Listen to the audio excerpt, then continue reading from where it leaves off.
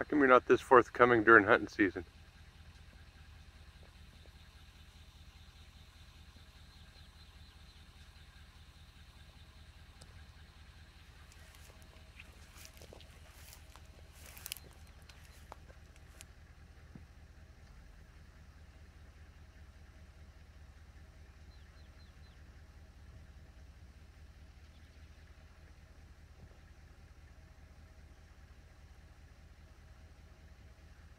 How you doing, Mama dear?